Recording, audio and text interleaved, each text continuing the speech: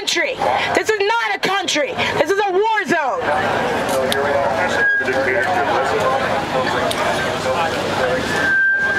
This is not a democracy. This is a country ruled by the power elite. The power elite represents the boardrooms of energy corporations, of military corporations, of pharmaceutical corporations. The idea that we have a choice now? Between What's your live stream channel? Uh, CourtneyKissMe.com. CourtneyKissMe.com. Yes. Okay, thank you.